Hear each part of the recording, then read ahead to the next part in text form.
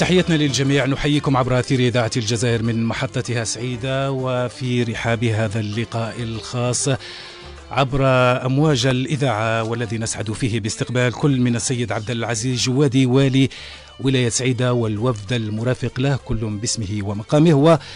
أسعد أيضا باستضافة السيد محمد بغالي المدير العام للإذاعة الجزائرية والذي أصر أن يكون حاضرا في هذه الولاية الثورية والمجاهدة وهي تعيش على وقع إحياء الذكرى الستين لاسترجاع السيادة الوطنية.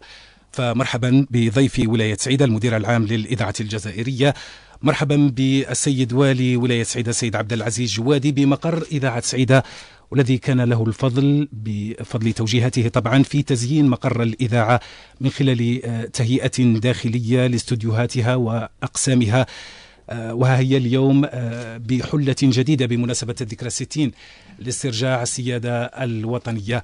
سيد الوالي كلمة بهذه المناسبة وبزيارة المدير العام للإذاعة الجزائرية. شكرا سيدي. بسم الله الرحمن الرحيم والصلاة والسلام على أشرف المرسلين سيد المدير العام للإذاعة الجزائرية. سيد رئيس المجلس الشعبي الولاي السادة أعضاء اللجنة الأمنية بالولاية السيد النائب بالبرلمان السيد عاميري محمد مستشار السيد المدير العام السيد زبدة محمد مدير تنسيقية الإذاعات الجهوية السيد المندوب المحلي لوسط الجمهورية السيد رئيس دار سعيدة السيد رئيس المجلس الشعبي البلدي لسعيدة أسرة الإعلام والصحافة السيدات والسادة الحضور المستمعين الأفاضل لإذاعة سعيدة عبر موجات البث المختلفة. السلام عليكم ورحمة الله تعالى وبركاته. في البداية أود باسمكم جميعا أن أرحب بالسيد المدير العام. السيد المدير العام لإذاعة الإذاعة الجزائرية سي محمد بغالي والوفد المرافق له على تشريف ولاية سعيدة من خلال هذه الزيارة هذه الولاية التاريخية والمجاهدة. اليوم السيد المدير العام للإذاعة الجزائرية نستقبلكم ضيفا عزيزا على ولايتنا. ونحن نحتفي بالذكرى الستون لعيد الاستقلال 5 جويلية. هذه الذكرى العزيزة والغالية على قلوبنا جميعا والعظيمة. عظم تاريخ شعبنا البطل.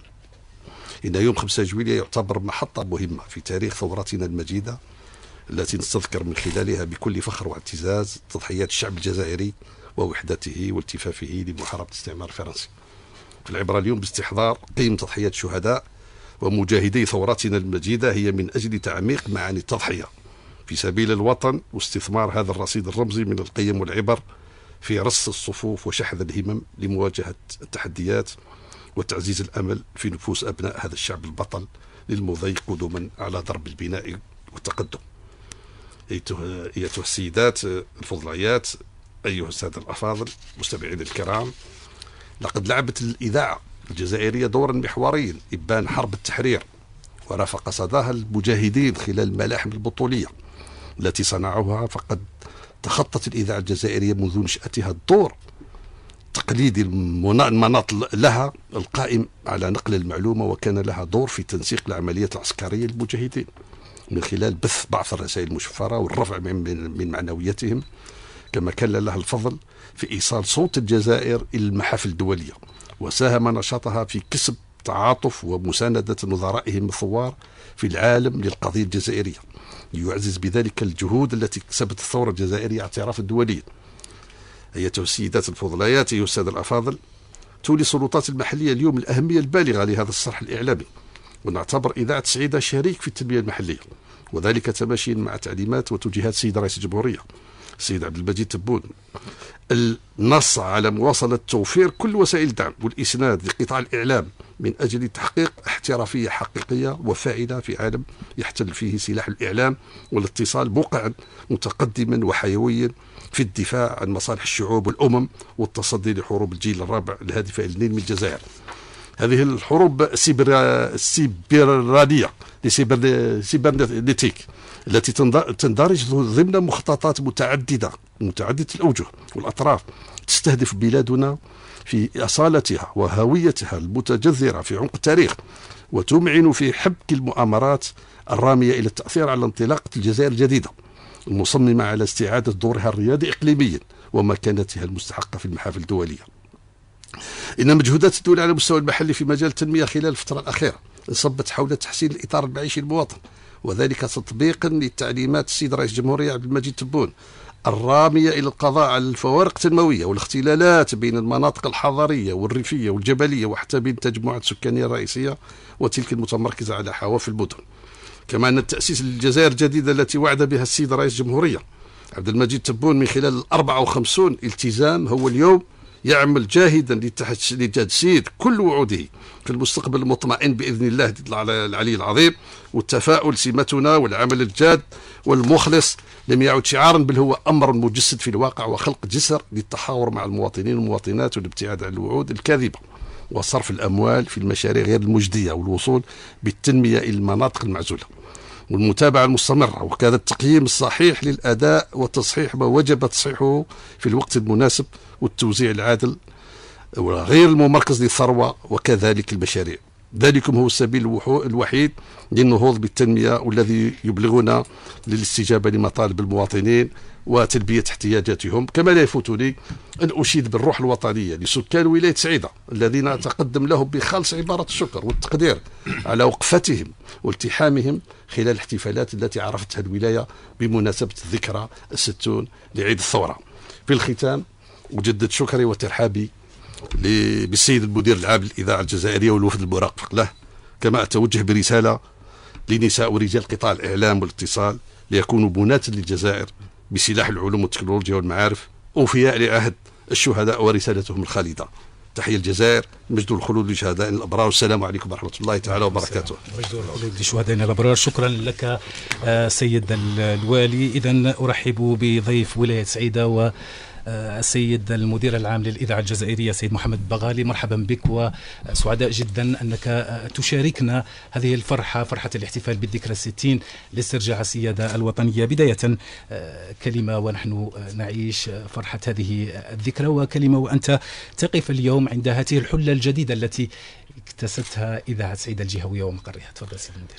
أولا اسمح لي أن أستغرب منك. نعم. ترحيبي الترحيب بي في بيتي. في بيتي اللي هي المحطة الجهوية تاع سعيدة وولاية سعيدة أيضا. آه، في البداية آه، أتوجه بخالص الشكر والتقدير آه، وأرفع القبعة للسيد والي ولاية سعيدة لما يقدمه من دعم ولما ينجزه أولا. لساكنة ولاية سعيدة بصفة عامة وللإذاعة للمحطة الجهوية لسعيدة بصفة آه، خاصة آه، ونحن اليوم آه، نرى بشائر هذا الدعم متمثلة في في هذه أو في إعادة ترميم هذه الاستوديوهات وإن شاء الله عن قريب إعادة ترميم قاعة المحاضرات الكبيرة والجميلة. إذا شكرا لكم السيد الوالي. ومن خلال السيد والي الولاية أتوجه بخالص الشكر لكل السلطات معنا اليوم. السيد رئيس المجلس الشعبي الولائي السيد رئيس المجلس الشعبي البلدي السيد النائب آه، وممثلي آه، اللجنة الأمنية. إذا كل باسمه وكل بمقامه نتوجه لهم بخالص الشكر والتقدير. ما عسى أقول آه، بهذه المناسبة إلا أننا أعدنا اكتشاف الجزائر الحقيقية الجزائر الكبيرة الجزائر القوية الجزائر المحترمة الجزائر التي تحترم وإذا لم تحترم لها من الإمكانيات ما ما يكفي حتى تفرض احترامها على الجميع.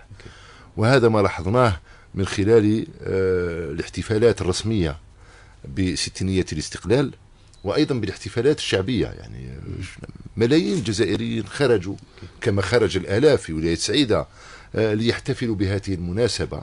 آه، العرض العسكري الذي عشناه يوم الخامس جويليا بالعاصمة كان آه، كان خرافيا كان رائعا.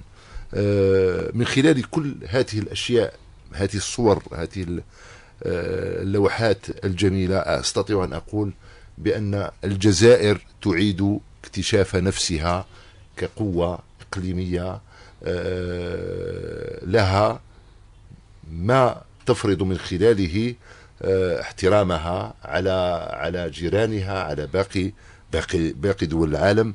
تاريخا وحضارة وثقافة آه، وتمدنا لشعبها. يعني شفنا احتفالات خرج الجزائريون بالملايين. يعني ما سمعناش كلمة نابية. فعلا. ما شفناش حادث يعني. ما شفناش طريق يعني ترك بعده المحتفلون أوساخا. يعني آه، هذا دليل أنه ما ما يروى عن الشعب الجزائري. هو مجرد مغالطات وأكاذيب. ألقى آه، الشعب هذه الأيام بحجر في أفواه مردديها. نعم. سيد المدير العام أكيد أن الإذاعة كانت ولا تزال توثق جزءا كبيرا من هذا التاريخ المشرف ومن تاريخ أكبر ثورة في تاريخ الثورة التحريرية المجيدة. من خلال رش شهادات للأبطال الذين عايشوا تلك الفترة هل يمكن القول اليوم أن الإذاعة فعلا استطاعت أن تصون الذاكرة الوطنية وتحفظ الذاكرة الوطنية؟ وما المطلوب من الأطقم الإذاعية في المستقبل إن شاء الله؟ والله أنا كما كنت أقول دائما الإذاعة الوطنية آه، لأنها ولدت كما قال السيد الوالي من رحم ثورة التحرير الوطنية. أنتم تعلمون بأن الإذاعة الوطنية لم لم تخرج إلى الحياة بموجب مرسوم كغيرها من المؤسسات الإعلامية العمومية في بقية دول العالم. المرسوم الذي من خلاله ولدت الإذاعة الوطنية هي ذلك المشهد لذلك الشاب الجزائري البطل الذي آه، صعد ذات 28 أكتوبر من سنة 1962 مبنى شارع الشهداء لينزع علم الاحتلال الفرنسي وليغرس مكانه علم الجزائر المستقلة وليعنن بذلك آه، آه، استكمال الجزائر لاستقلالها. يعني الجزائر أخذت استقلالها العسكري واستقلالها الجغرافي واستقلالها السياسي في 5 جويلية 62 وفي 22 أكتوبر أخذت استقلالها الإعلامي. إذا شهادة الميلاد هاته آه، غير المسبوقة. تجعلني أقول بأن الإذاعة الوطنية ليست مؤسسة إعلامية كباقي المؤسسات. هي لا تتحمل فقط المسؤولية التقليدية مسؤولية الإخبار ولكنها أيضا تشعر بمسؤولية كبيرة تجاه المساهمة في الحفاظ على وحدة الوطن واستقراره وانسجامه ولا يتم ذلك إلا بالحفاظ على ذاكرته لأن. آه، الفيلسوف آه، البريطاني آه، الشهير برنار شو يقول شعب فاقد للذاكرة فاقد للسيادة وإحنا الحمد لله الجزائريون لهم ما يكفي من الذاكرة حتى يحافظوا على سيادتهم والإذاعة الوطنية لأنها بموجب ما هو منوط بها من مسؤوليات. تملك تملك جزءا آه، متواضعا ولكنه مهم جدا من هذه الذاكرة. تضعه اليوم آه، استجابة لتوجيهات السيد رئيس الجمهورية. كما تعلمون السيد رئيس الجمهورية ومنذ منذ أكثر من من سنتين يلح على ضرورة الاهتمام بملف الذاكرة. الذاكرة ليست التاريخ الذاكرة ليست الماضي. الذاكرة هي الماضي والحاضر والمستقبل. الذاكرة تقع في قلب ما يجب أن ننتجه من استراتيجيات آه، أمنية. أمنية. اليوم كما تحدث السيد الوالي تحدث عن آه، واسمحوا لي أن أطلت عن حروب الأجيال الجديدة. هذه الحروب لا تستعمل فيها الدبابات ولا الصواريخ ولا الطائرات ولا الدرون ولا أي أي شيء من هذا القبيل. حروب الأجيال الجديدة تتوجه إلى قلوب الشعوب وإلى إلى عقولها تحاول أن تشككها في هويتها تحاول أن تشككها في تجذرها تحاول أن تضرب الثقة بينها وبين الدولة. ولا يمكن أن نرد على هذه الهجمات إلا من خلال الاهتمام بملف الذاكرة. واليوم الإذاعة الوطنية تضع ما تملكه من أرشيف في متناول من يريده من الهيئات آه، والمؤسسات. أهدينا قطعة ثمينة منه لوزارة المجاهدين وذوي الحقوق بمناسبة يوم الذاكرة وقبل أسبوع فقط أهدينا قطعة ثمينة أخرى منه إلى وزارة آه، الدفاع الوطني. نحن فخورون بأن نلعب هذا الدور ولكنه يحملنا وأكثر من أي وقت مضى آه، مسؤولية كبيرة كما قلت تجاه وحدة الوطن وانسجامه واستقراره. نعم. أه، سيد المدير العام كنتم قد راهنتم أه، قبل انطلاق العاب البحر الأبيض المتوسط بوهران على نجاح أه، هذه التظاهرة وأن الجزائر ستثبت أنها فعلا قادرة على تنظيم أكبر من من ألعاب البحر الأبيض المتوسط. راهنتم أيضا على أن مؤسسة الإذاعة ستكون المرافق الدائم لهذا النجاح. ف اليوم شهدنا بالأمس فقط اختتام هذا العرس الذي احتضنته مدينة وهران. كيف كيف يمكن تقييم الأداء الإعلامي الذي رافق هذه التظاهرة؟ أولا نحن كنا نقول دائما بأن هذه الألعاب آه، ستنجح ونجحت لأننا نعرف دولتنا ونعرف قدرة دولتنا. على على رفع التحديات ونعرف قدرة الجزائر يعني الجزائر يخلطوا فيهم فقط. ربما لو كان ما خلطوش فيهم ربما كانت الألعاب هذه هذه التظاهرة ما كانش تعيش هذا النجاح. ولكن الجزائريين كما جرت العاده رفعوا التحدي ونجحوا في رفعه رفعه. بالنسبة للإذاعة الوطنية منذ البداية كانت المقاربة هي كالآتي. أن هذه التظاهرة ليست تظاهرة رياضية فحسب ولكنها تظاهرة تحمل الكثير من الأبعاد السياسية والاقتصادية والسياحية والحضارية ومن خلالها آه، وهذا ما أثبته الجزائر خلال آه، فترة الألعاب من خلالها آه، تتمكن الجزائر من أن تعيد إنتاج نفسها كقوة كبيرة في حوض البحر الأبيض المتوسط. كانت قوة كبيرة في السابق وساهمت في في في في نشر السلم في هذه آه، المنطقة ولا زالت اليوم قوة كبيرة ومؤثرة آه، في المنطقة. إذا انطلاقا من هذه المقاربة شرعت الإذاعة الوطنية كما تعلمون وإذاعة سعيدة ساهمت باقتدار في ذلك في الترويج لهذه الألعاب قبل سنة من الآن. ومشينا بالتدرج بالتدرج إلى أننا أسبوع قبل الألعاب الإذاعة الوطنية كانت تنتج ما لا يقل عن 70 ساعة أسبوعيا من برامج مخصصة أو موجهة للترويج لهذه الألعاب. ثم جاءت فترة الألعاب وكانت الإذاعة الوطنية يبدو لي يبدو لي والله أعلم انه أكبر مشاركة للإذاعة الوطنية آه، في تغطية أي حدث منذ تأسيسها كان بمناسبة آه، ألعاب البحر الأبيض المتوسط. كما تعلمون أرسلنا فريقا آه، من أكثر من 200 عامل أكثر من 200 يعني لو كان تحسب لي rotation ربما وصلنا إلى 300 يعني من تقنيين وصحفيين آه، وسائقين والإذاعات المحلية شاركت بقوة في تغطية الحدث. كما تعلمون أننا أرسلنا إلى وهران ما لا يقل عن 62 آه، وهنا سي محمد زبدة منسق الإذاعات الجهوية يصححني إن أخطأت. 62 من الزميلات والزملاء ممثلي الإذاعات الجهوية إلى وهران ليشاركوا في إنجاح التغطية الإعلامية لهذا الحدث. بعثنا زملاء من تمراست وزملاء من, من, من إليزي وزملاء من أضرار لأننا نعتقد بأن هذه الألعاب أولا هي وطنية ما لا, لا تقتصر على ولاية وهران فقط. وإذا قلنا وطنية يجب أن يشارك كل أبناء الجزائر من التاء إلى التاء في في في إنجاحها.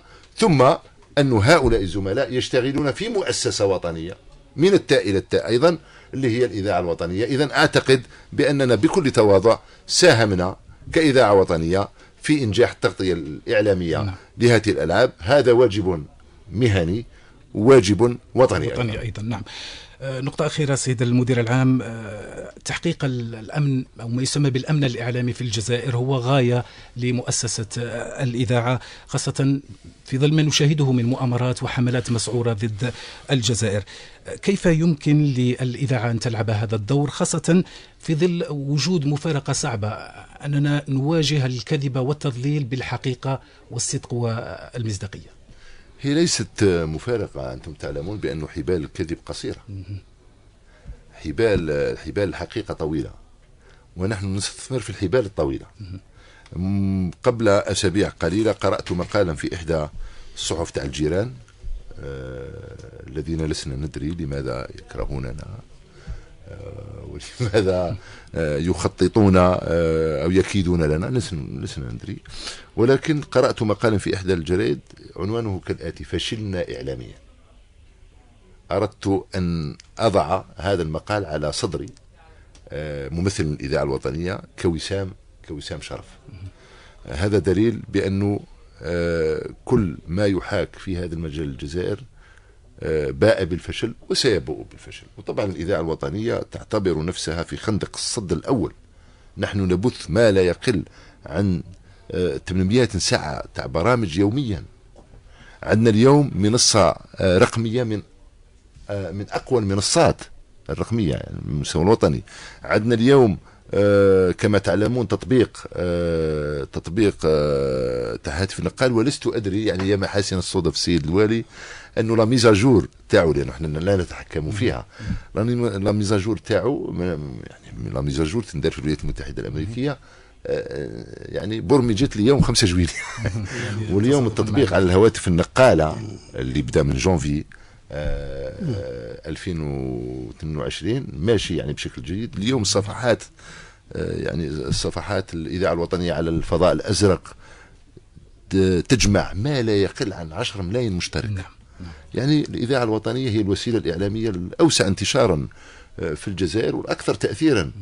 وعليه فإننا نتحمل مسؤوليتنا كما يجب ولكن بأن نمارس مهنتنا كما يجب أن تمارس. احتراما لأخلاقياتها التزاما بقواعدها بمواثيقها.